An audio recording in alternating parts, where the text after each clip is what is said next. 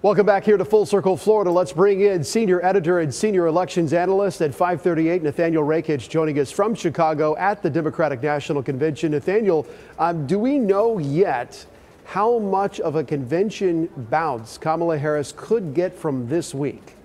We don't know. Really, you have to wait until the first polls come out after the convention is over, which I would imagine would be this weekend at the earliest. In addition, though, it is a question whether she's going to get a bounce at all. Historically, of course, that does happen, but also historically, you don't get a new presidential candidate just a few weeks before the convention. So I think you could argue that Harris is already in a bit of a honeymoon period that has basically approximated the bounce that she would have gotten or that maybe Biden would have gotten out of this convention. Different kind of race, different kind of math. Uh, meanwhile, how is the electoral battleground starting to evolve? We're seeing now that uh, North Carolina is becoming more of a battleground state. Uh, is this now expanding beyond the big seven so called battleground states and spilling into other states that are now in competition?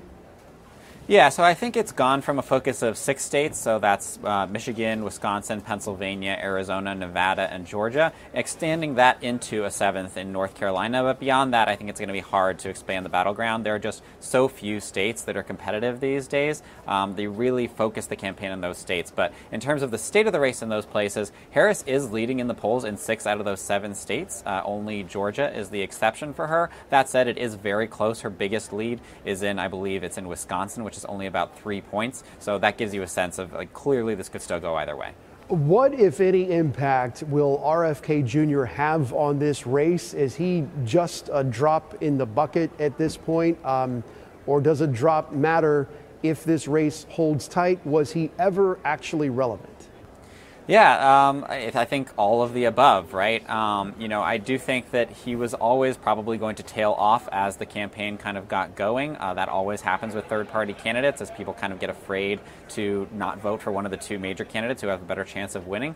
Uh, at this point, it does look like most of RFK's supporters are more conservative, so I think you could expect Trump to maybe get a little bit of a bounce. But yeah, RFK's support right now, he's only at about 5% nationally, and so if maybe, you know, some of those people aren't going to vote, vote. Some of those people are still going to go for Harris. And so that's probably not that much of a boost for Trump. But yes, absolutely. In a very close election, it could matter. Nathaniel Rakich at the Democratic National Convention in Chicago. Nathaniel, thank you, sir. Appreciate it. Next on Full Circle Florida, feelings are great, but what about facts? Personality versus policy. What is the Kamala Harris game plan? What we know and what we still don't. Next.